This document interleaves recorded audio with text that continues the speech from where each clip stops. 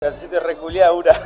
Pim. Con, Con Mateo Coronel. el ritual más raro que hiciste antes de un partido. Siempre me arrodillo orar, pedirle a Dios que me ayude. La peor broma que viste en un vestuario. Hacerlo tropezar a un compañero ahí se ponen, se arrodillan ahí atrás y lo, lo tumban. Alguno que ah, podemos mandar en cana que se cayó feo. Sí puede ser Enzo que en ese tiempo cuando estábamos en Argentino, alguno de ellos. Si pudieras intercambiar de posición por un partido, ¿qué posición elegirías y por qué? Me gustaría jugar de, de cinco.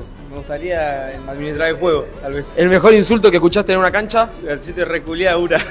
¿En qué cancha? en la cancha de Atlético. Si pudieras crear o eliminar una nueva regla del fútbol, ¿cuál sería y por qué? El bar.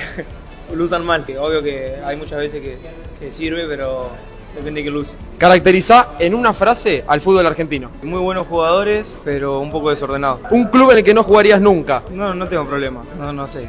No, no, no te voy a decir por la duda. Ya hago que en una de esas termino jugando ahí. ¿Y un club donde te gustaría jugar? River. El jugador más fachero de Argentina es. Mi amigo Tiago Nuz.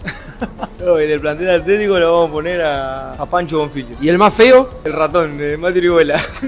Se va a enojar.